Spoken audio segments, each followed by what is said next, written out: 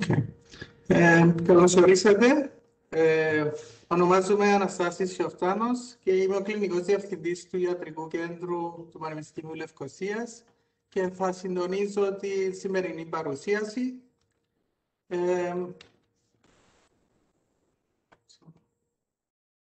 ε, ως, η σημερινή παρουσίαση είναι επ' ευκαιρίας ε, της Ευρωπαϊκής Εβδομάδας Δημόσιας Υγείας και λαμβάνει και είναι μέρος της διαδικτυακής ημερίδας που λαμβάνει χώρο αυτή τη βδομάδα μεταξύ 17 και 21 Μαΐου και διοργανώνεται από την Ιατρική Σχολή του Πανεπιστημίου Λευκοσίας. Για εγγραφή, όπως λέει και πάνω στο slide, μπορείτε να πάτε στο www.metunic.ac.cy events category. Η σημερινή παρουσίαση έχει διοργανωθεί από το Ιατρικό Κέντρο του Πανεπιστημίου Λευκοσίας και την Ιατρική Σχολή, αλλά σε συνεργασία με το πρόγραμμα Διατροφολογίας και Διαιτολογίας, αλλά και το πρόγραμμα Επιστήμης και Αθλητισμού του Τμήματος Επιστήμης και Μηχανικής του Πανεπιστημίου Λευκοσίας. Ε, η σημερινή παρουσίαση πρέπει να σας πω ότι οπτικογραφείται και θα είναι διαθέσιμη για να την ξαναδείτε στην ιστοσελίδα της Ιατρικής Σχολής. Επίσης, παρακαλώ, εάν έχετε οποιασδήποτε ερωτήσεις, να τις, βάλετε, να τις, ε, να τις υποβάλλετε στο κουτί του Q&A, question and answer, ε, στο κάτω μέρος της παρουσίασης. Ε, σήμερα στη σημερινή παρουσίαση θα μιλήσουμε για τις προτεραιότητες στην υγεία μας κατά τη διάρκεια του πρώτου χρόνου της πανδημίας του COVID-19 και θα πάρουμε πρακτικές συμβουλές από ειδικούς για θέματα διατροφής, για θέματα σωματικής άσκησης και ε, για θέματα σωματικής άσκησης, αλλά και για τη διαχείριση του άγχους. Στο ε, πάνελ της σημερινής παρουσίασης θα αποτελείται από τη Δόκτωρ Έλενα Φιλίππου, αναπληρώτρια καθηγήτρια του προγράμματος Διατροφολογίας και Διαιτολογίας του Πανεπιστημίου Λευκοσίας, αλλά και τη Δόκτωρ Κάλια Κληρίδη, κλινική ψυχολόγο Ιατρικού Πανεπιστημίου ε, Λευκοσίας και το Δόκτωρ Χριστόφορο Γιαννάκη, εργοφυσιολόγου και επίκουρου καθηγητή του προγράμματος Επιστήμης του Αθλητισμού. Το πρόγραμμα της σημερινής ε, παρουσίασης είναι ως ακολούθως. Μετά το καλωσόρισμα, ακολουθεί μια σύντομη εισαγωγή από την κυρία ε, τη δόκτωρα Φιλίππου και μετά οι τρεις παρουσιάσεις ε, με θέματα τη δίαιτα, τη σωματική άσκηση και τη διαχείριση του άγχους όπως έχουμε μπει. Η σημερινή παρουσίαση θα διαρκέσει 60 λεπτά και σας υπενθυμίζω ότι οι ερωτήσεις σας είναι ευπρόσδεκτες. Ε, μην διστάσετε να σταθείτε, να τεντωθείτε, αλλά να γράψετε και τις ερωτήσεις σας στο Q&A box. Ε, τώρα θα δώσω το λόγο στη δόκτωρα Φιλίππου.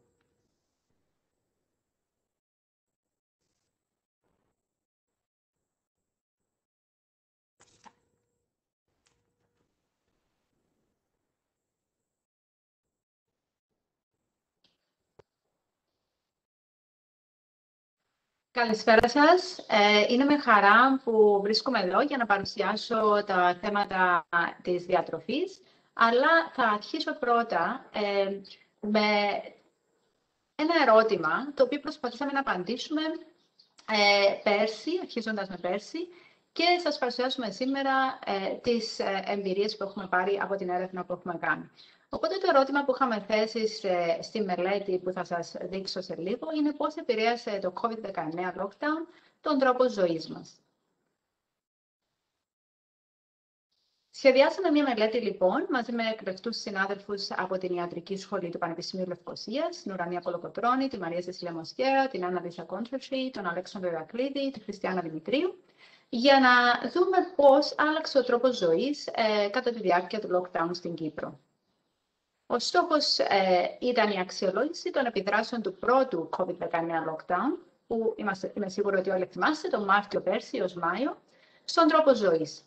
Πήραμε λοιπόν τυχαία ένα δείγμα κατοίκων Κύπρου, 745 άτομα, τα οποία απάντησαν σε ένα ανώνυμο online ερωτηματολόγιο με ερωτήσεις σε σχέση με τους έξι πυλώνες του τρόπου ζωής τους πριν το lockdown, το Φεβρουάριο του 2020 και κατά τη διάρκεια του lockdown.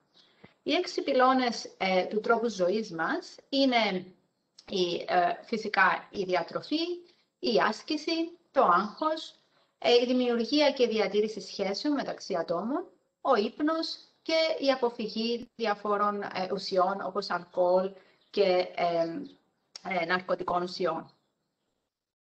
Τώρα, ας δούμε πώς άλλαξε η διατροφή και το σημαντικό βάρος κατά τη διάρκεια του lockdown. Η προσκόλληση στη μεσογειακή διατροφή ήταν μέτρια στον πληθυσμό που μελετήσαμε στην Κύπρο, δηλαδή δεν ήταν τόσο καλή, ούτε πριν, ούτε κατά τη διάρκεια του lockdown. Ένα τρίτο των ατόμων που έλαβαν μέρος βελτίωσαν τη διατροφή τους, καταναλώνοντας περισσότερα φρούτα, λαχανικά και όσπρια και μειώνοντας την κατανάλωση γλυκών τροφών και ροφημάτων. Όμως, όταν αναλύσαμε ακόμα περισσότερο τα δεδομένα μας, χρησιμοποιώντας στατιστικά μοντέλα, είδαμε ότι μόνο τα άτομα που ακολουθούσαν τη χριστιανική ορθόδοξη νηστεία κατά το lockdown, διότι ήταν πριν το Πάσχα, είχαν στατιστικά σημαντική βελτίωση στη διατροφή τους. Και επίσης τα άτομα έβαλαν λίγο βάρος κατά τη διάρκεια του lockdown. Πώς επηρέασε τώρα το lockdown τη φυσική δραστηριότητα; Βρήκαμε ότι ο χρόνος καθιστικής δραστηριότητας αυξήθηκε σημαντικά από τους περισσότερους συμμετέχοντες κατά τη διάρκεια του lockdown. Επίσης όμως αυξήθηκε σημαντικά το περπάτημα σε εβδομαδιαία βάση, αλλά μειώθηκε η μέτρια και η έντονη φυσική δραστηριότητα. Επομένως, η συνολική φυσική δραστηριότητα έμεινε περίπου ίδια. Τώρα, πώς επηρέασε το lockdown το στρες, τον ύπνο και την κοινωνική στήριξη; Δυστυχώς είχε αρνητικές επιδράσεις στο αίσθημα άγχου, στρε, επειδή 6 στα 10 άτομα δήλωσαν ότι νιώθαν περισσότερο στρε κατά τη διάρκεια του lockdown. Επίσης, ο ύπνος έγινε χειρότερος.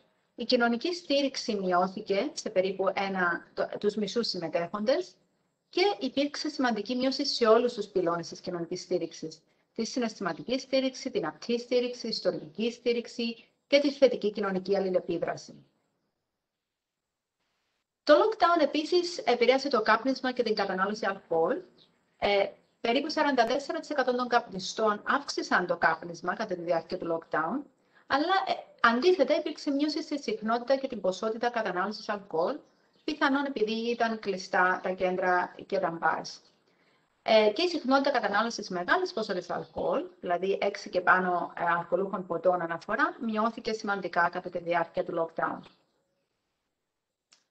Οπότε συνολικά μπορούμε να δούμε ότι το lockdown και το COVID-19 γενικά επηρέασαν αρνητικά τον τρόπο ζωής μας. Οπότε ζούμε τι μπορούμε να κάνουμε και γι' αυτό είμαστε εδώ σήμερα. Αρχίζοντας από τη διατροφή λοιπόν, ε, εγώ θα μιλήσω για το πώς μπορούμε να θέσουμε κάποιους σωστούς διατροφικούς στόχους με αυτόν τον τρόπο που ονομάζεται SMART, δηλαδή έξυπνους διατροφικούς στόχους. Τι είναι λοιπόν οι SMART στόχοι; SMART στόχος βγαίνει από το ακρόνιμο Specific, Measurable, Achievable, Realistic και Timely. Θα σας εξηγήσω ακριβώς τι σημαίνει αυτό. Ε, οι άνθρωποι μας αρέσει να βάζουμε στόχους οι οποίοι είναι στο μέλλον ή είναι γενικοί. Ας πούμε, ε, μπορεί να πω θα τρώω πιο υγιεινά ή θέλω να χάσω 5 κιλά σε ένα μήνα. Αλλά αυτό δεν είναι ε, έξυπνος στόχος. Αν θέλαμε να κάνουμε αυτό το στόχο έξυπνο, θα λέγαμε ότι ξεκινώντας από τη Δευτέρα και για όλη την εβδομάδα, θα καταναλώνω δύο υγιεινά snacks καθημερινά, ένα το πρωί, ένα το απόγευμα, τα οποία θα προγραμματίζω ή θα ετοιμάζω από το προηγούμενο βράδυ. Και με κόκκινα γράμματα βλέπετε πώς ακριβώς αυτός ο στόχος έγινε έξυπνος. Δηλαδή, είναι συγκεκριμένος ο στόχος, specific. Θα καταναλώνω δύο υγιεινά snacks. Είναι μετρήσιμος, επειδή μπορώ να το μετρήσω καθημερινά, θα καταναλώνω τα snacks και θα είναι δύο την ημέρα. Είναι εφικτός, αφού προγραμματίζω από το προηγούμενο βράδυ. Είναι ρεαλιστικός, αφού θα μπει σε εφαρμογή για μία εβδομάδα, θα φανούν οι δυσκολίες οι οποίες θα αντιμετωπιστούν και έτσι την επόμενη εβδομάδα θα μπούμε πιο δυναμικά και είναι και χρονικά δεσμευτικός. Δηλαδή υπάρχει αρχική ημέρα και συγκεκριμένη διάρκεια δοκιμασίας. Οπότε ένας smart στόχος, όπως είπαμε, πρέπει να είναι συγκεκριμένος, να οριστεί ξεκάθαρα και να απαντήσουμε στο ερώτημα τι θέλουμε να γίνει ακριβώς, διατροφικά τώρα μιλώντας. Ποιος θα το κάνει, πότε θα γίνει αυτό, Γιατί επίσης, δηλαδή ποιο είναι το κίνητρό μας για να κάνουμε ένα στόχο; Και τι απαιτεί να γίνει; Και από την άλλη μεριά τι πρέπει να σταματήσει να γίνεται; Δηλαδή, για παράδειγμα, ε, αν τρώω μπισκότια το απόγευμα, θα σταματήσω τα μπισκότια και θα τα αντικαταστήσω με φρούτο. Το μετρήσιμο. Πώς μπορεί να παρακολουθούμε την πρόοδο μας; Δηλαδή, αν βάλω ένα γενικό στόχο, θα μετράω μετά τα κιλά που έχασα, θα μετράω τη μέση μου, να δω αν έχασα εκατοστά, θα κοιτάζω τα ρούχα μου, θα δω κάποιες αναλύσεις, ας πούμε, σε δύο μήνες να δω αν έχουν αλλάξει. Οπότε μετράω τι είναι το αποτέλεσμα. Είναι εφικτός ο στόχος; Είναι αρκετά λογικός αυτός ο στόχος; Ή λέω θέλω να χάσω ξέρω εγώ 10 κιλά σε ένα μήνα; Όμως, από την άλλη, αν πω θα χάσω μισό κιλό σε ένα μήνα, μπορεί να είναι τόσο υπερβολικά εύκολος που να τον αφήνω να περνάει ο χρόνος και να μην κάνω τίποτα. Μετά, σχετικός. Είναι ο στόχος σχετικός με τους υπόλοιπους στόχους; Για παράδειγμα, έχω δουλειά, έχω παιδιά, έχω ε, άλλες υποχρεώσεις. Μπορώ να βάλω αυτό τον στόχο μέσα σε όλα αυτά και να τον πραγματοποιήσω ή δεν μπορεί, διότι υπάρχουν όλα τα υπόλοιπα. Και χρονικά δεσμευτικός. Δηλαδή, να μπει ένα όριο σε μία εβδομάδα, σε ένα μήνα, θα, θα το πετύχω αυτό το βήμα σε μία εβδομάδα, θα κάνω αυτό το πράγμα για τρεις μέρες και θα δω πώς θα πάει. Οπότε έτσι μπορώ να καταγράφω κιόλας την πρόοδό μου και να χτίζω πάνω στο στόχο. Δηλαδή, αρχίζω με κάτι και το κάνω καλύτερο ώσπου να φτάσω σε αυτό που είναι επιθυμητό για μένα.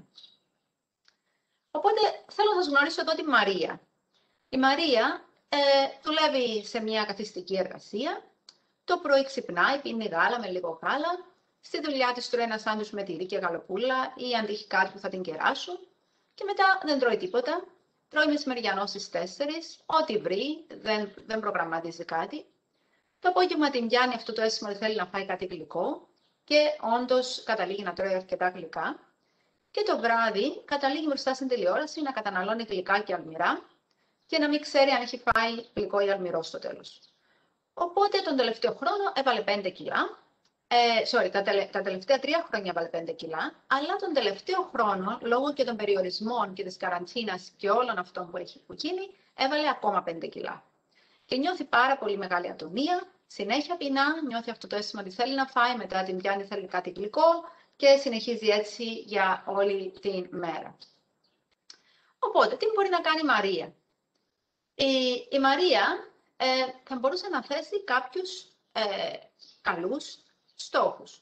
Ας πούμε, θα μπορούσε να πει να χάσει 2 κιλά σε 4 εβδομάδες, που δεν είναι πολύ εκτός ε, ρεαλιστικού στόχου, να τρώει σε σταθερές ώρες, να μειώσει τα γλυκά και να βάλει την άσκηση στη ζωή της. Αυτό, αυτή η στόχη όμως εδώ είναι γενική. Τώρα, τους στόχους αυτούς η Μαρία θα πρέπει να τους κάνει έξυπνους. Πώς θα μπορούσε να τους κάνει έξυπνους; Θα μπορεί να πει, να τρώει ας πούμε το πρωί βρώμη, μεγάλα και καρύδια πριν τη δουλειά. Οπότε δεν πίνει μόνο καφέ, αλλά έχει κάτι το οποίο είναι ε, με αργή απορρόφηση για να μπορεί να αντέξει στη δουλειά της και να μην έχει σκαμπανεβάσματα της γλυκόζης. Ε, δεύτερο στόχο που μπορεί να βάλει είναι να, να θέσει σταθερές ώρες. Και αν χρειάζεται, μάλιστα, μπορεί να θέσει κάποια επενθύμηση στο κινητό της, και εσείς μπορείτε να το κάνετε αυτό, για να τρώει, ας πούμε, κάθε τρεις ώρες ή να μην ε, παραβλέπει γεύματα. Θα μπορούσε επίσης να έχει μαζί της δύο φρούτα και ανάλογου ξηρούς καρπού, φυσικά σε μικρές ποσότητες, για να τρώει ενδιάμεσα, έτσι ώστε πάλι να μην καταλήγει στις 4 το απόγευμα, ε, πεινώντας πάρα πολύ. Επίσης, θα μπορούσε να έχει μαζί της ένα έτοιμο γεύμα για να φάει το μεσημέρι, ή αν προτιμά να τρώει στο σπίτι, να έχει ετοιμάσει το γεύμα από πριν ή προγραμματισμένα από το προηγούμενο βράδυ, για παράδειγμα, για να μην ε, ε, πέφτει σε οτιδήποτε έτοιμο βρίσκει μπροστά της. Ακόμα, θα μπορούσε να περπατά τρεις φορές την εβδομάδα, 30 λεπτά, αρχίζοντας από σήμερα κιόλας, να τρώει μόνο μια κουταλιά γλυκό ή ένα κομματάκι μαύρη σοκολάτα όταν θέλει γλυκό. Αυτός είναι ένας πολύ καλός στόχος, γιατί οι περισσότεροι άνθρωποι τα βλέπουν όλα μαύρα ή άσπρα. Δηλαδή, λένε δεν θα ξαναφάω γλυκό. Δεν γίνεται να μην. Δηλαδή, είναι σχεδόν ανέφικτο να μην ξαναφάσει ποτέ γλυκό. Οπότε, καλύτερα είναι μικρή ποσότητα για να φεύγει και η αίσθηση ότι θέλω κάτι γλυκό. Επίσης, η μαύρη σοκολάτα έχει πολλά ωφέλη για την υγεία μας. Ε, θα μπορούσε επίσης να αποφεύγει να τρώει δύο ώρες πριν κοιμηθεί. Αυτό θα τη εξασφαλίσει και καλύτερο ύπνο. Και να είναι mindful όταν τρώει. Mindful eating σημαίνει ότι όταν τρώω, τρώω μόνο. Δηλαδή σκέφτομαι, νιώθω το φαγητό στο στόμα μου, το γεύομαι πραγματικά και δεν κάνω κάτι άλλο, ούτε ε, απασχολώ τον εαυτό μου μπροστά στην τηλεόραση ή μπροστά στον υπολογιστή. Οπότε αυτός είναι ένας τρόπος για να βάλουμε ε, σωστούς ε, στόχους ε, διατροφής. Τώρα, ας δούμε και ένα άλλο μέρος της παρουσίασης, αν μπορούμε να τρώμε υγιεινά και τι σημαίνει ακριβώς τρώω υγιεινά. Αυτό εδώ είναι ένα πιάτο υγιεινής διατροφής που θα το δούμε τώρα μόλις και στην πυραμίδα της υγιεινής διατροφής. Η πυραμίδα της υγιεινής διατροφής, σίγουρα την έχετε ξαναδεί, αυτή είναι η μεσογειακή διατροφή, έχει ακριβώς το σχήμα της πυραμίδας, γιατί μας λέει ότι σε κάθε γεύμα είναι καλό να καταναλώνουμε ε, οι υδατάνθρακες, οι οποίοι είναι ολικής αλέσεως, ε, ας πούμε μία μερίδα ψωμί, η πουργούρη, η βρώμη, η ζυμαρικά ολικής αλέσεως. Σημαντικό είναι να καταναλώνουμε λαχανικά καθημερινά και σε κάθε γεύμα και φρούτα. Επίσης, ελαιόλαδο, που είναι ε, ακριβώς ο πυλώνας της μεσογειακής διατροφής, εξαιρετικά παρθένο ελαιόλαδο, ε, γαλακτοκομικά προϊόντα, ξηρούς καρπούς, ανάλατους, που έχουν πάρα πολλά ωφέλη για την καρδιά μας και για τον εγκέφαλο. Και σε εβδομαδιαία βάση φυσικά τρώμε τα όσπρια μας, τα πουλερικά, τέσσερα αυγά, ψάρι, ε, ειδικά λιπαρό ψάρι, όπως φούρα λαβράκι, και πολύ λιγότερο καταναλώνουμε κόκκινο κρέας και γλυκά. Ε, επίσης, πίνουμε νερό, αρκετό νερό, και έχουμε τη φυσική δραστηριότητα, που θα μιλήσει ο εκλεκτός συνάδελφος ο, ο Γιαννάκη, ε, φαγητό με παρέα και ε, το οποίο είναι κάτι που δεν μπορούσαμε να κάνουμε, αλλά έστω με την οικογένειά μας. Και επίσης επιλέγουμε τοπικά και εποχικά φρούτα, παρά φρούτα τα οποία δεν είναι στην εποχή και λαχανικά φυσικά. Είναι πάρα πολύ σημαντικό να ε, δούμε και τη μεσογειακή διατροφή στο πιάτο, οπότε βλέπετε εδώ τα ολικής αλέσεως προϊόντα, φρούτα, λαχανικά, την πρωτεΐνη μας, γαλακτοκομικά και μικρές ποσότητες γλυκών ε, σε εβδομαδιαία βάση και κόκκινου κρέατος. Και επειδή βρισκόμαστε στη, εν μέσω πανδημίας, είναι σημαντικό να αναφερθούμε και λίγο ε, στο ερώτημα αν μπορεί η κοινή διατροφή να στηρίξει το ανοσοποιητικό μας σύστημα. Υπάρχουν πάρα πολλοί ρόλοι της υγιεινής διατροφής σε σχέση ε, με τη στήριξη του ανοσοποιητικού συστήματος. Πρώτος μεγάλος ρόλος είναι ότι ε, αποδεδειγμένα η υγιεινή διατροφή μειώνει τον κίνδυνο χρόνιων ασθενειών, όπως καρδιοπαθειών, διαβήτη, παχυσαρκίας, διαφόρων ειδών καρκίνου, ε, αλλά και άλλων προβλημάτων. Και επιμηκύνει φυσικά το προσδόκιμο ζωής. Ε, συντείνει επίσης τη διατήρηση υγιούς σωματικού βάρους, ε, το οποίο ξέρουμε και γνωρίζουμε πάρα πολύ καλά ότι αυτό από μόνο του αποτελεί ένα παράγοντα κινδύνου για προβλήματα υγείας. Προσφέρει θρεπτικά συστατικά που αυξάνουν την αντίσταση σε λοιμώξεις του αναπνευστικού συστήματος. Ειδικά με τον κορονοϊό ξέρουμε ότι ε, το αναπνευστικό σύστημα είναι το κύριο σύστημα το οποίο επηρεάζεται. Τα θρεπτικά συστατικά είναι το ω3 λιπαραοξία, η βιταμίνη Δ και τα προβιωτικά, αλλά όχι μόνο φυσικά. Και προσφέρει θρεπτικά συστατικά με αντιφλεγμονώδεις και αντιοξυδοτικές ιδιότητες, που θα δούμε σε λίγο ποια είναι αυτά. Οπότε μαζί με ε, εκλεπτούς συνάδελφους από την Αμερική έχουμε φτιάξει ε, ένα ε, απλές οδηγίες για το πώς μπορεί να στηριχτεί το ανοσπιτικό σύστημα, ειδικά για άτομα τα οποία είναι σε κίνδυνο μεγάλης ηλικίας ή έχουν μεγαλύτερο κίνδυνο για τον κορονοϊό, τα οποία θα σας δείξω αμέσως. Είναι 10 μικρά βήματα. Αυτά όλα βασίζονται σε ευρωπαϊκές και παγκόσμιες οδηγίες ε, και ε, θα γίνει δημοσίευση σύντομα του συγκεκριμένου, ε, το συγκεκριμένο οδηγιό. Λοιπόν, το πρώτο είναι, διατηρούμε υγιές σωματικό βάρος, ε, κάνοντας σωστή διατροφή και άσκηση φυσικά. Έχουμε ποικιλία και ισορροπία στα γεύματα. Κανένα τρόφιμα από μόνο του δεν μπορεί να μας δώσει όλα τα θρεπτικά συστατικά και έτσι η ποικιλία ε, αποσκοπεί στο να πάρουμε όλα όσα χρειαζόμαστε και να μην καταλήγουμε να τρώμε παρόμοια θρεπτικά συστατικά. Επίσης, η ισορροπία σημαίνει ότι έχουμε ε, από όλες τις ομάδες τροφίμων έτσι ώστε να μπορέσουμε πάλι να πάρουμε αυτά που χρειάζεται ο οργανισμός μας. Αλλά αποφεύγουμε τα επεξεργασμένα και ανθυγιεινά τρόφιμα. Οτιδήποτε είναι πλούσιο σε λιπαρά, ζάχαρη και αλάτι και το υπερβολικό αλκοόλ. Σε μικρές ποσότητες, ναι, το κόκκινο κρασί μας βοηθάει και είναι μέρος της μεσογειακή διατροφής, αλλά σε υπερβολικές ποσότητες μειώνει ε, τις αντιστάσεις μας σε ασθένειες. Όπως επίσης και τα ανθυγιεινά τρόφιμα. Έχουν αποδειχθεί ότι ε, παίζουν πάρα πολύ αρνητικό ρόλο στην υγεία μας γενικότερα. Καταναλώνουμε αρκετά υγρά, κυρίως νερό, αλλά μπορούμε επίσης να πιούμε τσάι βοτάνο, που μπορεί να γίνει και κρύο τώρα, απαχογάλα, και τρόφιμα πλούσια σε νερό, όπως είναι τα λαχανικά, τα φρούτα, ας πούμε καρπούζι, είναι πολύ πλούσιο σε νερό, και σούπες το χειμώνα. Καταναλώνουμε επίσης τρόφιμα πλούσια σε βιταμίνη Α, όπως γαλακτοκομικά προϊόντα, αυγά, ψάρι και προβιταμίνη Α, που γίνεται μέσα στο οργανισμός μας ως βιταμίνη Α, που είναι οτιδήποτε πορτοκαλί και κόκκινο, δηλαδή καρότα, πορτοκάλια, ντομάτες, κόκκινες ε, και πορτοκαλιές πιπεριέ, καρπούζι. Καταναλώνουμε επίσης τρόφιμα πλούσια σε βιταμίνη C, όπως φρούτα, σίγουρα γνωρίζετε τα σπεριδοειδή, αλλά και φράουλες, τα μούρα, τα μάγκο, το κίουι, ε, είναι πολύ πλούσια σε βιταμίνη C και λαχανικά όπως μπρόκολο, ντομάτες, σπανάχι και κόκκινες πιπεριές. Καταναλώνουμε τρόφιμα πλούσιας σε βιταμίνη Ε, όπως ελαιόλαδο, ελιανθέλαιο, σε περιορισμένες ποσότητες του ελιανθέλαιο, προτιμούμε πάντα το ελαιόλαδο, ανάλογου ξηρούς καρπούς, όπως καρύδια, αμύγδαλα, φυστικό βούτυρο, χωρίς πρόσθετο το φυστικό βούτυρο και αβοκάτο. Καταναλώνουμε πλούσια σε σίδηρο τρόφιμα, όπως άπαχο κρέας, ψάρι, μαλάκια, αυγά, πράσινα φυλλώδη λαχανικά, αλλά δεν χρησιμοποιούμε σίδηρο αν δεν έχουμε έλλειψη, γιατί αυτό μπορεί να προκαλέσει περισσότερο πρόβλημα στον οργανισμό μας. Καταναλώνουμε τρόφιμα πλούσια σε ψευδάργυρο και σελήνιο, όπως όσπρια, ολικής αλέσεως προϊόντα όπως βρώμη, ολικής αλέσεως ψωμί, ρύζι και μακαρόνια. Και καταναλώνουμε ε, τρόφιμα πλούσια σε ωμέγα 3, όπως λιπαρά ψάρια, ε, καρύδια και σπόρους τσία. Και τέλος, καταναλώνουμε τρόφιμα πλούσια σε προβιωτικά. Ε, τα προβιωτικά είναι μικροοργανισμοί που βρίσκονται μέσα σε τρόφιμα, τα οποία βοηθούν στη λειτουργία του εντέρου. Ε, όπως το κεφίρ, που βρίσκεται διαθέσιμο στην αγορά, το μίσο, το τέμπια, είναι αποζυμωμένα φασολιά σόγιας, και το sauerkraut, που είναι ξινό λάχανο, ζυμωμένο λάχανο, και πρεβιωτικά. Τα πρεβιωτικά είναι τροφές για τα καλά βακτηρίδια του εντέρου, όπως αγκινάρες, μπανάνες, κρεμμύδι και σκόρδο.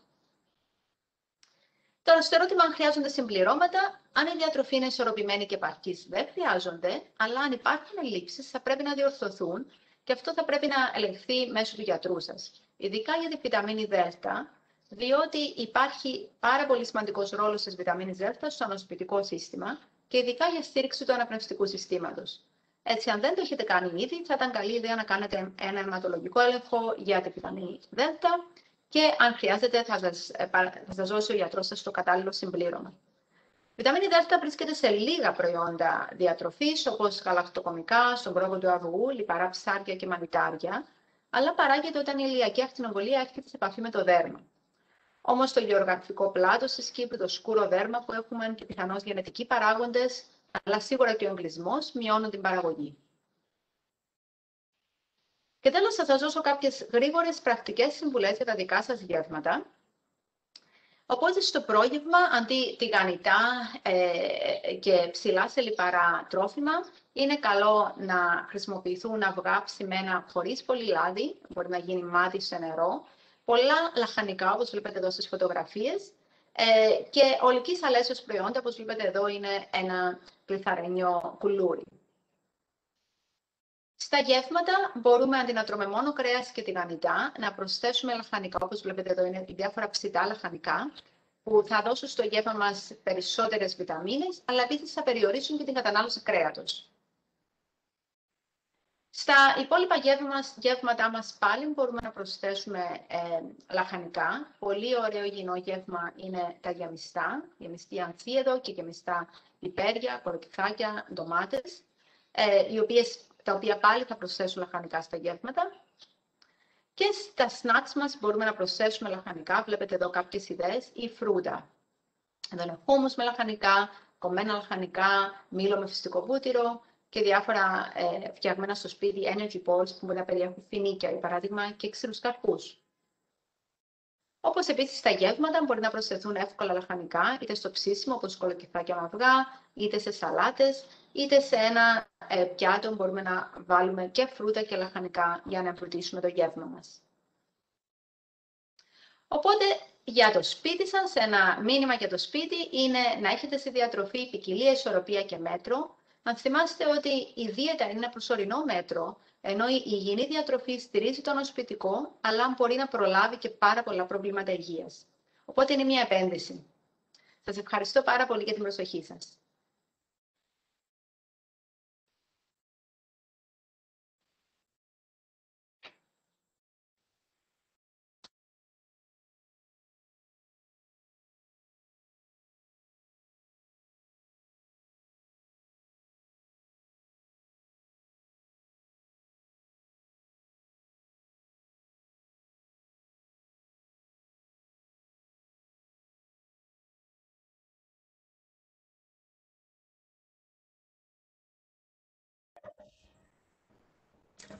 Καλησπέρα και από μένα. Ε, καταρχάς να ευχαριστήσω την Οργανωτική Επιτροπή αυτής της πολύ ωραία ημερίδας από την Ιατρική Σχολή του Πανεπιστημίου Λευκοσίας και την τιμή που μου έχει κάνει να με καλέσει να μιλήσω σχετικά με την σωματική δραστηριότητα στη μετά την πανδημία εποχή. Ε, μετά την πολύ ωραία παρουσίαση από την Έλενα Τη Φιλίππου θα ακολουθήσει ε, ένα τομέα ο οποίος σχετίζεται πάρα πολύ με τη διατροφή και την υγιεινή ζωή, η σωματική δραστηριότητα. Ε, είμαι ο Χριστόφορος Ζουιαννάκη, ε, είμαι, καθηγητής, ε, είμαι επίκουρος καθηγητής στο πρόγραμμα της επιστήμης του αθλητισμού ε, του Πανεπιστημίου Λευκοσίας. Αρχίζοντας, ε, δυστυχώς είχε μπει στη ζωή μας πριν από ένα χρόνο ο κορονοϊός με τις πολύ μεγάλες επιπτώσεις και τις πρωτόγνωρες ε, καταστάσεις με τα lockdowns και τα άλλα μέτρα τα οποία είχαν πάρθει και σε κάποιες χώρες συνεχίζονται ακόμη, ώστε να περιοριστεί η πανδημία. Ε, ένα πράγμα το οποίο εφάρμοσαν πάρα πολλές χώρες ήταν ο εγκλισμός, το lockdown. Αυτό όμως ξέρουμε ε, και από μελέτες οι οποίες είχαν γίνει στο παρελθόν ε, όπου είχαν ουσιαστικά ε, εξετάσει τα αποτελέσματα της διακοπής της προπόνησης, δηλαδή ένα άτομο το οποίο γυμναζόταν να σταματήσει ξαφνικά να γυμνάζεται. Άρα είχαμε υπόψη μας αρκετά δεδομένα όσον αφορά τις επιπτώσεις στη σωματική κατάσταση κυρίως του ανθρώπου, ε, που ε, δυστυχώς ε, φάνηκε ότι ίσχυσαν και με το lockdown. Άρα, ε, βλέποντας και την πολύ ωραία παρουσίαση, την πολύ ωραία έρευνα την οποία έχουν κάνει οι συνάδελφοι που παρουσίασε πριν η Έλενα Φιλίππου, ε, ξέρουμε ότι γενικά ε, ανά το παγκόσμιο ε, υπήρχε μια μείωση όσον αφορά τα επίπεδα σωματικής δραστηριότητας. Ε, για παράδειγμα, ξέρουμε ότι κατά τις πρώτες 10 μέρες της πανδημίας υπήρξε μια μείωση γύρω στο 5,5% στο μέσο όρο βημάτων την ημέρα, ενώ μετά από ένα μήνα παρατηρήθηκε μια πολύ σημαντική μείωση της τάξεως του 27,3%. Φυσικά, για να είμαστε ειλικρινείς, υπάρχουν κάποιες μελέτες οι οποίες δεν αναφέραν σημαντικές ε, αλλαγές. Σε αυτές είναι και η, η, μελέτη η οποία έχει δείξει πριν η Έλενα Φιλίππου. Παρ' όλα αυτά, ε, υπάρχει ε, η αντίληψη ότι κυρίως ε, τα άτομα τα οποία μείωσαν σημαντικά τα επίπεδα της φυσικής τους δραστηριότητας ήταν αυτοί οι οποίοι γυμνάζονταν αρκετά αυτοί οι οποίοι γυμνάζονταν πιο έντονα και ε, αυτοί οι οποίοι προτιμούσαν να γυμνάζονται περισσότερο σε γυμναστήρια. Άρα ένα άτομο το οποίο δεν γυμνάζονταν καθόλου και με το ένα SMS που ήταν ευκαιρία να βγει και από το σπίτι πολλές φορές, το είδαμε και στην Κύπρο αυτό, ίσως αυτοί να αύξησαν λίγο τα επίπεδα σωματικής δραστηριότητας. Ο περισσότερος όμως κόσμος δυστυχώς τα μείωσε και μάλιστα σε κάποιους μειώθηκαν σημαντικά. Απ' την άλλη, κάτι ευχάριστο, το οποίο είναι πολύ πρόσφατο σαν δεδομένα από μια πρόσφατη μελέτη, ήταν ότι στην Αυστραλία ήταν ότι ε, παρόλο που τα επίπεδα της φυσικής δραστηριότητας μειώθηκαν κατά το lockdown, με τη χαλάρωση η οποία επήλθε στα μέτρα, αυξήθηκαν και πάλι σημαντικά. Άρα ε, είναι αυτό που λέμε ότι η ζωή συνεχίζεται και προσπαθούμε όλοι σιγά σιγά να επανέλθουμε στους ρυθμούς τους οποίους είχαμε πριν την, την πανδημία εποχή. Άρα, όπως έχω αναφέρει στην αρχή, ξέραμε κάποια πράγματα ε, όσον αφορά τις αρνητικές επιδράσεις της διακοπής της άσκησης γενικά στην υγεία και τη φυσική κατάσταση του ανθρώπου. Και από αθλητές είχαμε πάρα πολλά δεδομένα και από γενικό πληθυσμό και από ασθενείς. Γενικά αυτό το οποίο ε, κρατούσαμε ε, από αυτές τις μελέτες ήταν ότι το να σταματήσει κάποιος να γυμνάζεται για ένα χρονικό διάστημα αυτό θα φέρει γρήγορες και σημαντικές επιπτώσεις στη φυσική του κατάσταση και στη σωματική του κατάσταση.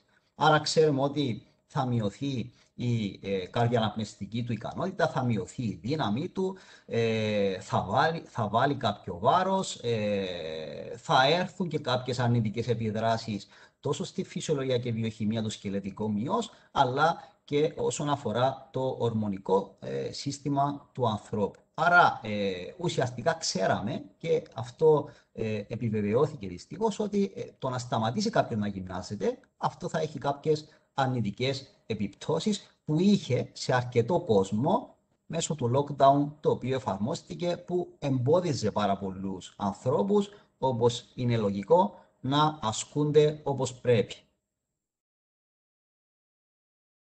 Υπάρχουν αρκετές μελέτες, ε, ανάφερε και κάποια πράγματα πριν η κυρία Φιλίππου, ένα πράγμα το οποίο παρατηρήθηκε ε, σε πάρα πολλές χώρες και σε πάρα πολλές μελέτες κατά τη διάρκεια του lockdown ήταν ότι υπήρξε μια αύξηση του σωματικού βάρους. Για παράδειγμα, σε αυτήν τη μελέτη που είχε γίνει στην Ιταλία, υπήρξε μια αύξηση στο σωματικό βάρος της ε, της τάξης του 1,5 ε, κιλού ουσιαστικά, όπου υπήρξε και μια παράλληλη αύξηση του δίχτυ μάζας σώματος, που είναι ένας δίχτυς όσον αφορά την παχυσαρκία.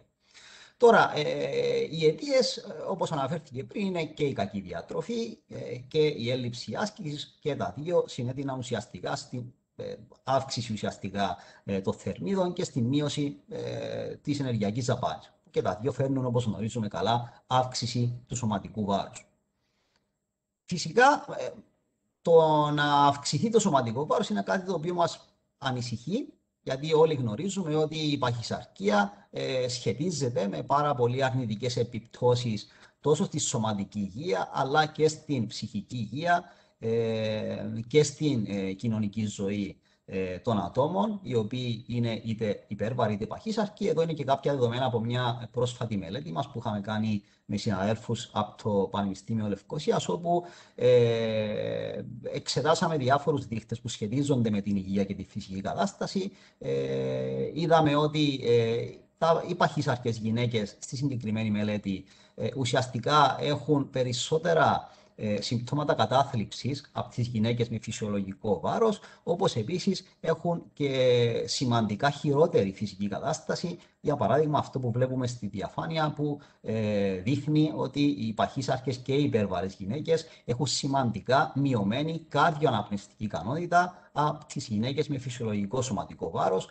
που η καρδιοπνευστική ικανότητα είναι ένας πολύ πολύ ε, δυνατός παράγοντας, ο οποίος σχετίζεται ε, με πολλά προβλήματα υγείας, αλλά ακόμη και με πρόωρο θάνατο. Άρα, για να επανέλθουμε για το τι είχε συμβεί ε, τον καιρό ουσιαστικά που άρχισε ε, η πανδημία με τα lockdown, ήταν ότι εφάρμοσαν πολλές χώρες, όπως είχαμε πει πριν, ε, τους εγκλισμούς, τα lockdown, άρα ε, ουσιαστικά αναγκαστικά έμεινε ο κόσμος στο σπίτι. Ε, αυτό ε, οδήγησε τον Παγκόσμιο Οργανισμό Υγείας, μάλιστα από, το, από τις πρώτες μέρες, από το αρχικό διάστημα που εφαρμόστηκε ο εγκλισμός, να βγάλει κάποιες οδηγίες οι οποίες σχετίζονταν με την ε, άσκηση, με τη φυσική δραστηριότητα. Και αυτό φαίνεται το πόσο σημαντικό είναι, πόσο σημαντικό είναι γενικά στη ζωή μας να γυμναζόμαστε, ε, ε, γιατί ουσιαστικά βοηθά πάρα πολύ το θέμα της υγείας ε, και σωματικής και ψυχικής. Το θέμα είναι τι άσκηση να κάνουμε, πώς έπρεπε να γυμναστούμε. Ξέρουμε ότι η άσκηση θα βοηθήσει την υγεία. Ε, η υγεία όμως, όπως και η φυσική κατάσταση, έχει πάρα πολλές παραμέτρους. Άρα πολλές φορές ε, οι οδηγίες που δίναμε, ε, τα άτομα τα οποία ασχολούμαστε με το κομμάτι της άσκησης, ε, μπέρδευαν τον κόσμο. Ε, ακόμα και κάποιες οδηγίες από διεθνούς οργανισμούς, οι οποίες έλεγαν γυμναστείτε, δεν έδιναν κάποιες πληροφορίες ιδιαίτερες όσον αφορά ε, το γενικό πληθυσμό που δεν ήξερε πολλά από την άσκηση, με αποτέλεσμα να μπερδεύονται. Άρα, ε, έβγαλε ο Παγκόσμιος Οργανισμός Υγείας κάποιες οδηγίες, οι οποίες ήταν απλές σχετικά, που είχαν στόχο, όπως καταλαβαίνετε, να βοηθήσουν τον κόσμο να αρχίσει να γυμνάζεται περισσότερο.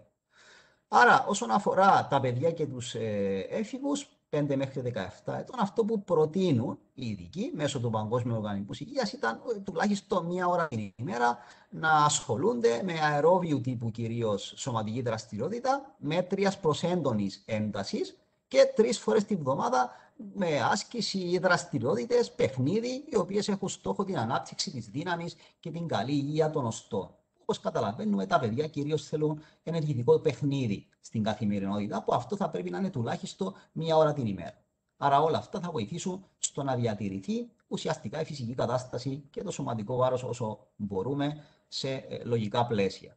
Όσον αφορά τους ενήλικες, για το γενικό πληθυσμό, ε, αυτό που πρότειναν οι ειδικοί ήταν αερόβια άσκηση μέτρια έντασης και διάρκειας τουλάχιστον 150 λεπτά μέχρι 300 λεπτά που δόθηκε σαν οδηγία για περαιτέρω ωφέλη όσον αφορά την υγεία ή εναλλακτικά έντονη έντασης άσκηση, η οποία είναι λίγο και της μόδας τα τελευταία χρόνια, διάρκειας 75 έως 150 λεπτών την εβδομάδα ή ακόμα και συνδυασμό των δύο μορφών. Άρα, αν το πάρουμε απλά, αυτά τα 150 λεπτά μπορούμε να τα χωρίσουμε σε 5 μέρες, 30 λεπτά την μέρα, ή ακόμα αν θα επιλέξουμε την έντονη άσκηση για να γυμναστούμε, την άσκηση η οποία θα ανεβάσει σημαντικά ε, τους παλμούς της καρδιάς, θα μας κουράσει περισσότερο. Αυτή η μορφή μπορεί να γίνει, για παράδειγμα, 3 μέρες επί 25 λεπτά. Ή ο συνδυασμός, όπου κάποιες μέρες θα επιλέξουμε έντονη άσκηση, κάποιες μέρες θα επιλέξουμε μέτριας ε, έντασης άσκηση.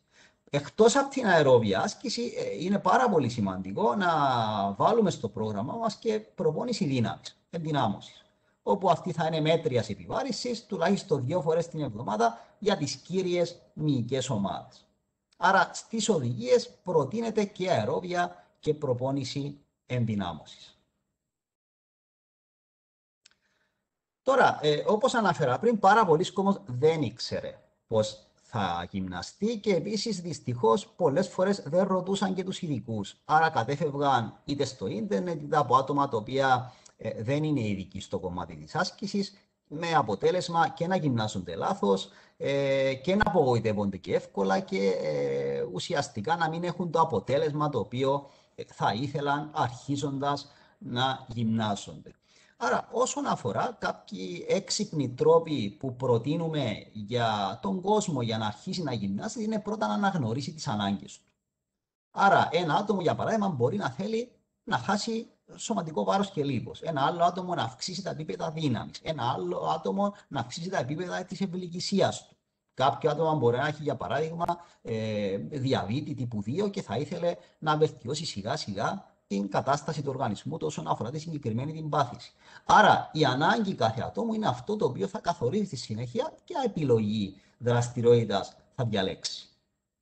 Άρα, ε, υπάρχουν πάρα πολλές επιλογές όσον αφορά τη γυμναστική, πάρα πολλές, φορές, πάρα πολλές μορφές άσκησης, όπου ε, ουσιαστικά κάθε μορφή άσκησης, και αυτό είναι πάρα πολύ σημαντικό, οδηγεί σε κάποιες συγκεκριμένες ε, επιδράσεις και κάποια συγκεκριμένα αποτελέσματα. Δεν είναι όλες οι μορφές άσκησης το ίδιο, ούτε οδηγούν στα ίδια αποτελέσματα. Αν κάποιος, για παράδειγμα, θέλει να αυξήσει την αντοχή του, η καλύτερη μορφή σίγουρα είναι μια μορφή η οποία περιλαμβάνει αερόβια άσκηση. Αν κάποιος θέλει να αυξήσει, για παράδειγμα, τη δύναμη του, εννοείται θα διαλέξει μια μορφή η οποία περιλαμβάνει άσκηση δύναμης. Άρα, ε, θα πρέπει να μπουν στόχοι και οι στόχοι, όπως πάρα πολύ ωραία παρουσίασε πριν η, η Έλενα, ε, θα πρέπει να έχουν ε, ουσιαστικά κάποιες αρχές, να είναι έξυπνοι, ώστε να μπορούν να βοηθήσουν το άτομο να μείνει στο κομμάτι της άσκησης, μιας που μιλάμε ε, στη συγκεκριμένη παρουσίαση. Άρα, οι στόχοι θα είναι και βραχυπρόθεσμοι και μακροπρόθεσμοι. Όσον αφορά την άσκηση, θα πρέπει να πει, για παράδειγμα, εγώ θα γυμνάζομαι τρεις φορές την εβδομάδα ή στα αρχικά στάδια 20 λεπτά, 30 λεπτά σε κάθε συνεδρία. Μετά από ένα μήνα θα μπω για πέντε φορές την εβδομάδα και ούτω καθεξής. Σε έξι μήνες, εγώ στόχος μου είναι να γυμνάζομαι καθημερινά. Άρα και βραχυπρόθεσμα και μακροπρόθεσμα. Ο στόχος θα πρέπει να είναι ρεαλιστικός. Ένα άτομο θέλει να χάσει, για παράδειγμα, μέσω της άσκησης σωματικό βάρος. Θα πρέπει να μπει ένας ρεαλιστικός στόχος. Στόχος είναι ουσιαστικά να χάσω 2 με 4 κιλά το μήνα, όπως είχε πει πριν και η Έλενα. Ε, ένας στόχο ο οποίος θα είναι να χάσω 15 κιλά σε ένα μήνα, εννοείται δεν είναι ρεαλιστικός, δεν είναι εφικτός. Θα απογοητεύσει το άτομο. Ο στόχος επίσης πρέπει να είναι και προκλητικός απ' την άλλη. Δεν μπορώ να έχω στόχο να χάσω σε δύο μήνες 150 γραμμάρια. Αυτό δεν είναι κάτι το οποίο θα μου δώσει έτσι ένασμα ώστε να αρχίσω να γυμνάζομαι και να έχω έτσι μεγαλύτερη ε, επιθυμία για να έρθω στο στόχο μου. Επίσης, ο στόχος θα πρέπει να είναι μετρήσιμος. Ε, για παράδειγμα, θέλει να βελτιώσει κάποιο άτομο την αντοχή του. Ε, θα πρέπει να βάλει ένα στόχο τον οποίο μπορεί να μετρήσει, να δει αν τον έφτασε τον στόχο. Δεν ξέρουμε, αυτοί έχουν πιο μεγάλη προσήλωση σε επιτυχέ αποτέλεσμα, αν βάλουν ένα μετρήσιμο και συγκεκριμένο στόχο. Άρα θα πει, εγώ στόχος μου είναι να μπορώ να τρέχω 20 λεπτά στο level 7-8 ε, του διαδρόμου του γυμναστηρίου. Με ένα στόχος μου είναι να μπορώ να γυμνάζομαι, να κάνω έντονη άσκηση για 15 λεπτά. Άρα θα είναι πρέ... ή να κάνω 5 χιλιόμετρα σήμερα, σε ένα μήνα να κάνω 8 χιλιόμετρα. Άρα θα πρέπει να μπορούμε να μετράμε τους στόχους και να είναι και συγκεκριμένοι. Άρα πήγαινε τρέξε, πήγαινε κάνε άσκηση, είναι πολύ γενικό. Δεν θα βοηθήσω κάποιον ο οποίος ε, θέλει να παραμείνει σε ένα υγιή τρόπο ζωής. Άρα, όπως έχω αναφέρει και πριν, πάρα πολλές μορφές άσκησης, κάθε μορφή ουσιαστικά ε, οδηγεί σε κάποια συγκεκριμένα αποτελέσματα. Να μην αναμένουμε από όλες τις μορφές άσκησης ότι θα έχουμε το ίδιο αποτέλεσμα. Ε, είμαστε πάρα πολύ ενεργοί στο πρόγραμμα επιστήμης του αθλητισμού όσον αφορά τα προγράμματα τα οποία γίνονται για βελτίωση της υγείας και της φυσικής κατάστασης. Εδώ είναι κάποιες ενδεικτικές μελέτες τις οποίες κάναμε τα τελευταία χρόνια. Ασχοληθήκαμε με προγράμματα ομαδικά, π.χ. το πιλάτες ή με προγράμματα τα οποία έχουν πάρα πολλές επαναλήψεις με λίγο φορτίο, που αυτές οι μορφές φαίνεται να βοηθούν και στην αύξηση της δύναμης και στην αύξηση της αντοχής, αλλά και σε μια μικρή απώλεια σωματικού λίπους. Το πιλάτες απ' την άλλη έχει μια μικρή έτσι, επίδραση στη δύναμη, αλλά και στην ευληγησία όσον αφορά το σωματικό κομμάτι, γιατί ξέρουμε είναι μια πάρα πολύ ωραία επιλογή όσον αφορά και το ε, ψυχικό ε, σκέλος της υγείας και της ποιότητας ζωής. Απ' την άλλη, ξαναλέω, είμαστε σε μια εποχή όπου είναι πολύ έτσι της μόδας και πάρα πολλές πληροφορίες βγαίνουν συνεχώς για την υψηλής έντασης ε, προπόνηση, αυτήν την μορφή ε, άσκηση. Ε, έχουμε βρει ότι ακόμα και δύο φορές την εβδομάδα ε, να ασχολείται κάποιο άτομο ε, για 25 λεπτά περίπου με υψηλή ένταση θα έχει μια έτσι, πολύ σημαντική βελτίωση και σε δείχτες υγείας αλλά και στην βελτίωση της αερόβιας του ικανότητας. Μόνο με δύο φορές την εβδομάδα θα επιλέξει μια πολύ έντονη άσκηση. Επίσης, μια άλλη μορφή που είναι πάρα πολύ δημοφιλής και την έχουμε εξετάσει και στο Πανεπιστήμιο είναι ε, η λειτουργική προπόνηση υψηλής έντασης σε αυτήν τη μελέτη, όπου είδαμε ότι είναι και πάρα πολύ αποτελεσματική ε, όσον αφορά τη βελτίωση της αντοχής κάποιου ανθρώπου και της δύναμης, αλλά κυρίως ότι ε, μπορεί να οδηγήσει σε αυτές τις επιδράσεις χωρίς να προκαλέσει ε, ιδιαίτερη ε, αύξηση δικτών φλεγμονής και μυϊκής βλάβης, άρα είναι και ασφαλής και αποτελεσματική. Φυσικά θα με ρωτήσει κάποιο άτομο το οποίο δεν ξέρει ιδιαίτερα πράγματα όσον αφορά την άσκηση, εγώ ποια μορφή θα επιλέξω. Άρα σε αυτό το σημείο να πω ότι θα πρέπει να συμβολευόμαστε τους αθλητικούς επιστήμονες, τους ψυχιούχους εννοείται, ε, απόφοιτους πανεπιστημίου ε, αθλητικούς επιστήμονες για το ποια μορφή μπορώ να κάνω, ποιος είναι ο στόχος μου, πόσες φορές μπορώ να γυμναστώ, άρα να το βοηθήσουμε και τον ε, γυμναστή να μπορεί να καταλήξει σε ένα σωστό πρόγραμμα ε, όπου ε, και θα βοηθήσει στη βελτίωση της υγείας και ε, να γίνει αυτό με ασφάλεια. Ε, φυσικά, ε, τον καιρό του εγκλισμού ε, ήταν πάρα πολύ έτσι δημοφιλή τα προγράμματα τα οποία ήταν online και τα προγράμματα τα οποία γίνονταν στο σπίτι. Πάρα πολλοί συνάδελφοι και προς τιμήν τους συνέχισαν να προσφέρουν προγράμματα άσκησης διαδικτυακά. Αυτό νομίζω έπαιξε ένα σημαντικό ρόλο για να διατηρήσουν στο κάποια άτομα έτσι ικανοποιητικά επίπεδα φυσικής κατάστασης ε, και ήταν μια πάρα πολύ καλή επιλογή, η οποία από ό,τι γνωρίζω κάποια άτομα συνεχίζουν ε, με αυτόν τον τρόπο να γυμνάζονται. Άρα ε, φαίνεται ότι κάποια πράγματα τα οποία αναγκαστικά έγιναν τον καιρό ε, του εγκλισμού θα συνεχίσουν να γίνονται και στο μέλλον.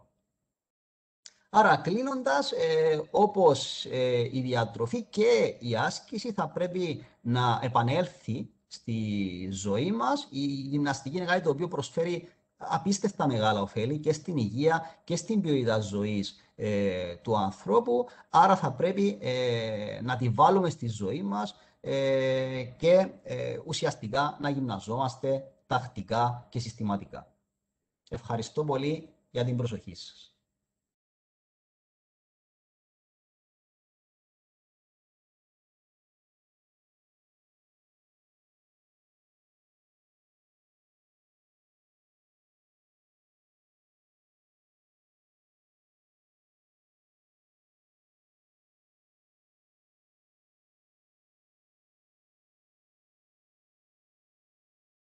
Καλησπέρα σε όλους και από μένα. Εγώ είμαι η Κάλια Κληρίδου και θα σας μιλήσω σήμερα για τη διαχείριση του άγχους. Ε, καταρχάς, ήθελα να ευχαριστήσω τους οργανωτές και τους συναδέλφους για τις ενδιαφέρουσες παρουσιάσεις τους. Και έτσι θα προσπαθήσω κι εγώ μέσα από, από τη δική μου παρουσίαση να χτίσω πάνω σε αυτά που ήδη υπόθηκαν. Ε, τώρα για το θέμα του άγχους. Συγγνώμη. τώρα, τώρα για το θέμα του άγχους. αυτό που έτσι ήθελα να αναφέρω σε σχέση με την πανδημία, όπως ανάφερε και η συνάδελφος η Έλενα Φιλίππου, είδαμε πάρα πολύ αυξημένα επίπεδα άγχους τον τελευταίο χρόνο στο γενικό πληθυσμό. Οπότε παράλληλα με την πανδημία COVID είχαμε σχεδόν και μια πανδημία άγχους που ε, βλέπουμε και εμείς και στα ιατρία μας και γενικά στη δουλειά μας. Ε, και αυτό που ήθελα να πω είναι ότι είναι, είναι πολύ κατανοητό το τι έχει γίνει, γιατί η πανδημία έχει φέρει τεράστιες αλλαγές στη ζωή μας, τεράστια αβεβαιότητα, εγκλισμό, ε, δυσκολίες που δεν περιμέναμε, δεν αναμέναμε ότι θα είχαμε. Ε, και για κάποιους από εμάς μπορεί να ξύπνησαν και έτσι πιο υπαρξιακοί φόβοι για το θάνατο, για την απώλεια και να ζήσαμε εμπειρίες και τραυματικές. Οπότε όλα αυτά ε, θα ήταν σχεδόν αναπόφευκτο να ε, μην βιώσουμε κάποια αρνητικά συναισθήματα σε σχέση με αυτό που περνούμε. Ε, και αυτό που θα ήθελα έτσι να πω είναι το, το τι είναι το άγχος καταρχάς. Το άγχος και το στρες είναι μία, ένα συνέστημα φυσιολογικό. Είναι μία αντίδραση του οργανισμού για να μας κινητοποιήσει, να μας προστατέψει όταν θεωρεί ότι κάτι μας απειλεί. Οπότε μπορεί να είναι και χρήσιμο σε ένα βαθμό. Είναι αυτό που μας κάνει να βάλουμε τη μάσκα μας, να ακολουθήσουμε τους κανόνες, ε, να κάνουμε αυτά που πρέπει για να προστατευτούμε. Όταν όμως το άγχος μας γίνει υπερβολικό και αρχίσει να καταβάλει τη ζωή μας, εκεί είναι που μπορεί να μας προκαλέσει προβλήματα, να μας επηρεάσει και, και ψυχολογικά και σωματικά και μπορούμε να δούμε δύσκολες επιπτώσεις που έχει στη ζωή μας. Αυτό που είναι σημαντικό όμως έτσι για αρχή είναι να μην παλεύουμε με τον εαυτό μας. Καταρχάς να αποδεχτούμε τα συναισθήματά μας, ότι είναι κατανοητό το ότι αισθανόμαστε άγχος, είναι εντάξει, δεν είναι κάτι που πρέπει να ντρεπόμαστε ή να κρίνουμε τον εαυτό μας γι' αυτό.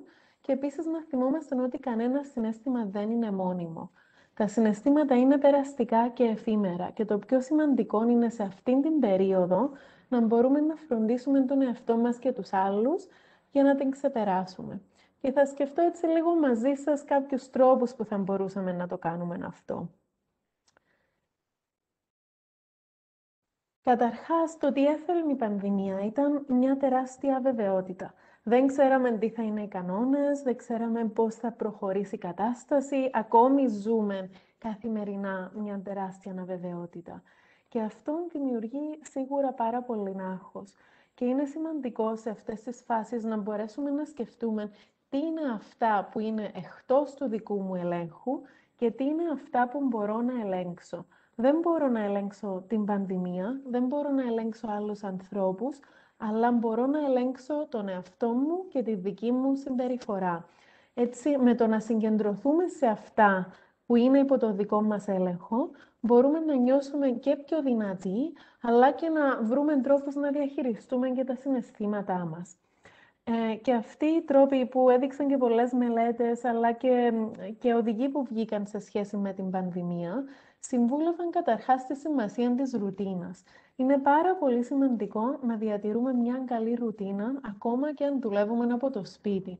Δηλαδή, να ξυπνούμε παρόμοια ώρα κάθε μέρα, να κοιμόμαστε παρόμοια ώρα, να τρώμε σωστά τα γεύματα μας, ε, να κάνουμε διαλύματα μέσα στη μέρα μας. Αν είμαστε από το σπίτι, ακόμη να βάλουμε και τα ρούχα της δουλειάς και να αλλάξουμε δωμάτιο για να δουλέψουμε, παρά να φορούμε τα ίδια ρούχα όλη μέρα και να μην αλλάζουμε περιβάλλον.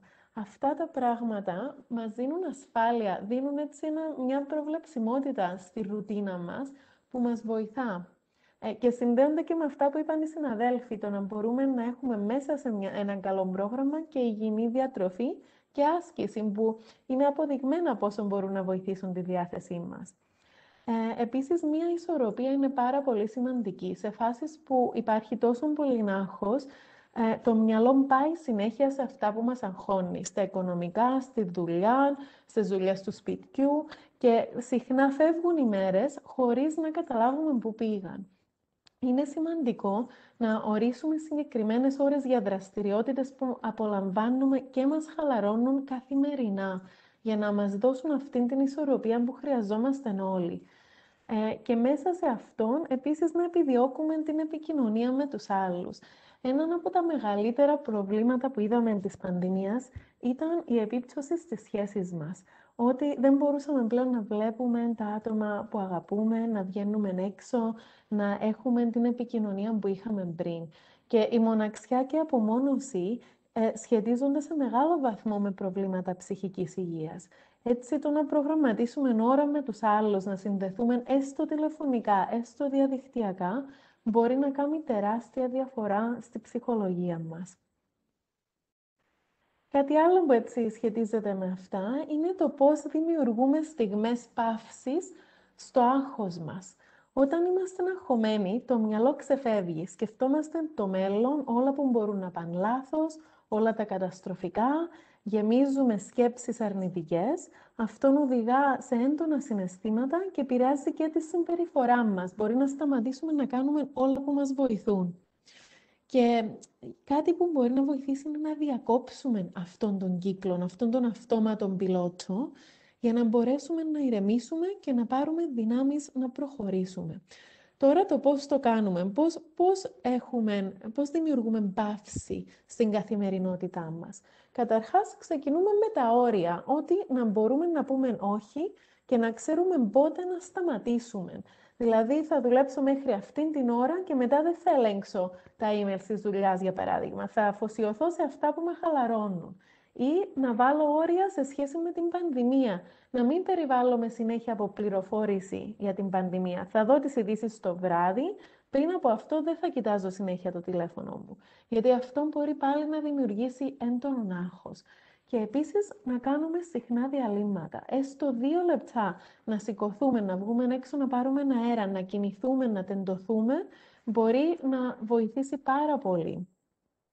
Και κάτι που μας βοηθά και πάρα πολλές έρευνες έδειξαν ότι βοηθά σε θέμα χαλάρωσης, σε θέμα να δημιουργούμε αυτές τις στιγμές παύσης, είναι το mindfulness, ε, η ενσυνειδητότητα δηλαδή, και οι ασκήσεις χαλάρωσης. Αυτά μπορεί να βοηθήσουν, έχουν βρεθεί έρευνες ακόμη και στο επίπεδο του εγκεφάλου να φέρουν αλλαγές και στις ικανότητες μας του να ηρεμούμε και να διαχειριζόμαστε τα συναισθήματά μας.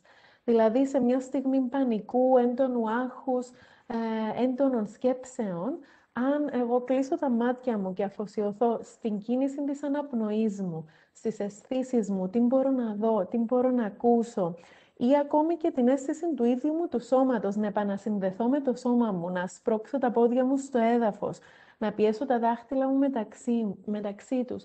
Όλα αυτά φεύγουν την προσοχή από το άγχος και φέρνουν την προσοχή στο σώμα και λειτουργούν ως άγκυρα για να έρθουμε στην παρούσα στιγμή. Υπάρχουν πάρα πολλές ασκήσεις, δεν έχουμε ώρα να τις κάνουμε μαζί, αλλά σας έβαλα κάποιους σύνδεσμους στο τέλος που μπορείτε να βρείτε ασκήσεις που μπορεί να δουλέψουν για σας. Ε, κάτι που έτσι ήθελα να αναφέρω, όπως έκαναν και οι συνάδελφοι, είναι αυτός ο, αυτή η τεχνική των έξυπνων στόχων και πώς μπορούμε να τη χρησιμοποιήσουμε σε σχέση με τη χαλάρωση. Ας πούμε, αν ο στόχος μου είναι γενικά ότι θέλω να χαλαρώσω. Για να τον κάνω συγκεκριμένο, μπορώ να πω, θα αρχίσω με μια άσκηση αναπνοής 5 λεπτά τη μέρα από τη Δευτέρα. Είναι μετρήσιμος ο στόχος γιατί μπορώ, λέω, θα κάνω την άσκηση καθημερινά και μπορώ να καταγράψω την προσπάθεια μου. Τι είναι τα αποτελέσματα, πώς αισθάνομαι πριν και μετά την άσκηση. Είναι εφικτός ο στόχος, τι χρειάζομαι για, τον, για να τον πετύχω. Χρειάζομαι ένα χώρο που δεν θα με ενοχλήσουν, μπορεί να βρω βίντεο που με καθοδηγούν στην άσκηση, μπορώ να βάλω υπενθύμηση στο κινητό μου. Είναι ρεαλιστικός; Για μένα, ναι, ξέρω ότι πέντε λεπτά μπορώ να βρω μέσα στη μέρα μου για αρχή, ιδιαίτερα το πρωί. Και είναι σχετικός γιατί θα με βοηθήσει να βελτιώσω την ψυχική μου υγεία. Και τέλος, με δέσμευση χρόνου. Θα κάνω την άσκηση πέντε λεπτά κάθε μέρα για ένα μήνα. Μετά από τον ένα μήνα θα με θεωρήσω και θα δω μπορώ να αυξήσω τα πέντε λεπτά ή να προσθέσω μια δεύτερη άσκηση. Και έτσι ο στόχος γίνεται πολύ πιο εύκολος να τον πετύχουμε όταν το σπάσουμε σε αυτά τα βήματα. Και το τελευταίο που θα ήθελα να, έτσι να αναφέρω είναι η αυτοσυμπόνια. Αυτό το αναφέρω πάντα όταν, όταν αναφέρομαι σε διαχείριση συναισθημάτων, γιατί το θεωρώ ένα από τα πιο σημαντικά κομμάτια. Δηλαδή, όταν, όταν αισθανθούμε αρνητικά συναισθήματα, ε, στεναχώρια, άγχος, θυμό, πολλοί από εμάς ξαφνικά γινόμαστε πάρα πολύ επικριτικοί και σκληροί με τον εαυτό μας. Και αυτό οδηγά σε πολύ πιο έντονα αρνητικά συναισθήματα. Το να μπορούμε να απαντήσουμε στον εαυτό μας με καλοσύνη, όπως θα μιλούσαμε και σε κάποιον άλλον, μπορεί να κάνει τεράστια διαφορά. Ε, σκέψεις που έχω δηλαδή που με αγχώνουν, να τους απαντήσω να ενθαρρύνω τον εαυτό μου, να πω στον εαυτό μου ότι είμαι ασφαλής, ότι μπορώ να διαχειριστώ αυτό που γίνεται, ότι είναι εντάξει αυτό που αισθάνομαι και τι μπορώ να κάνω τώρα για να βοηθήσω τον εαυτό μου, τι θα με χαλάρωνε, πώς θα έδειχνα φροντίδα στον εαυτό μου. Και ένα κομμάτι αυτού είναι και η ευγνωμοσύνη. Όταν το μυαλό συγκεντρώνεται μόνο στο τι πάει λάθος, μόνο σε όλα τα αρνητικά, δεν μπορούμε να χαλαρώσουμε. Όμως αν αρχίσουμε έστω και συνειδητά να δίνουμε σημασία σε αυτά που πετύχαμε, σε αυτά που έχουμε για τα οποία είμαστε ευγνώμων, αυτό μπορεί να κάνει τεράστια διαφορά. Ε, επειδή δεν έχουμε πολύ ώρα όμω, απλώς να, σας έβαλα κάποιους σύνδεσμους, στους οποίους μπορείτε να κοιτάξετε, που αναλύουν αυτές τις συμβουλές ε, με περισσότερη λεπτομέρεια και πολλά από αυτά που είπα τα πήρα από εδώ επίσης και επίσης κάποιες εφαρμογές τηλεφώνου για τη βελτίωση της ψυχικής υγείας που μπορεί να μας βοηθήσουν και κάποιες ασκήσεις χαλάρωσης. Αυτό μαγνητοσκοπείται η διάλεξη σήμερα, οπότε μπορεί να πάτε πίσω και να βρείτε τους συνδέσμους για να τα ψάξετε λίγο περισσότερο και επίσης να μιλήσετε στους επαγγελματίες υγείας για περισσότερες πληροφορίες ή αν έχετε κάποια συγκεκριμένη ανησυχία. Σας ευχαριστώ πάρα πολύ και θα πάρουμε κάποιες ερωτήσεις.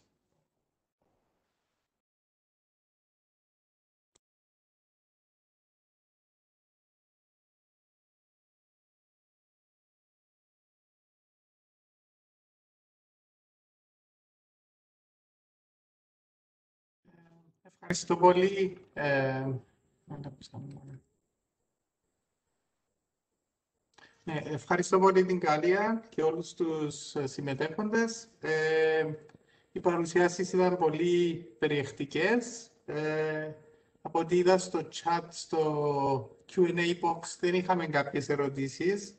Ε, επειδή ε, ε, υπερβήκαμε λίγο το χρόνο, ε, αν έχει κάποιος ερώτηση τώρα, μας τη θέσει στο Q&A box.